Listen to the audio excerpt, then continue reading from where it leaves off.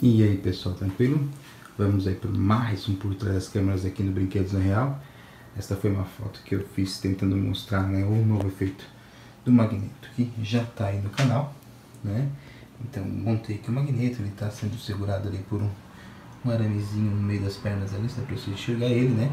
Equilibrei a, o efeito com os destroços ali embaixo, né? O Wolverine caído aqui, que o Wolverine é o primeiro que cai, né? Na luta contra magneto é, pra mim, pelo menos. Então botei o Ciclope, que ele fez também que gente tem no canal há muito tempo atrás.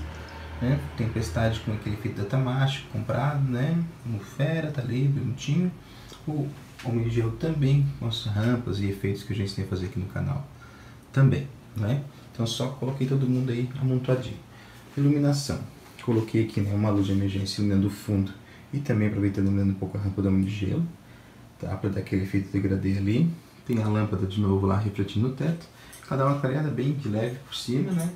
Essa aqui que está rebatendo aqui nesse no meu armário branco aqui também para ajudar. E eu peguei essa amarelinha aqui e joguei, amarelinha com laranja, né?